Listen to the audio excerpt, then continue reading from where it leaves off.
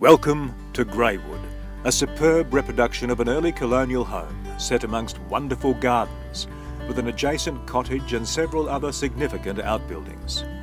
As we approach the home and step over the threshold into the main entrance, you're immediately aware of the high ceilings, timber features, polished floors, and a sense of quality. The lounge room to our left is of generous proportions and opens into an equally generous sized dining room, both with eye-catching decor and fittings. The heart of the home, the country-style kitchen, has all the modern facilities but retains the charm of yesteryear. Adjoining the kitchen, a wonderful conservatory takes in the superb views of the Western Tiers and the Liffey Valley. Apart from the laundry, mudroom and toilet, the ground floor contains the main bedroom with ensuite and every man's dream, a billiard room. Upstairs we have three bedrooms and another bathroom. As we exit the main house and approach the cottage, the proportion of this magnificent property becomes more apparent.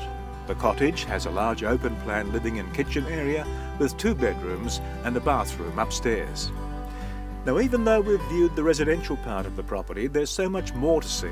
The huge shared workshop, garaging, stables, and not in the least the fantastic rural and mountain views.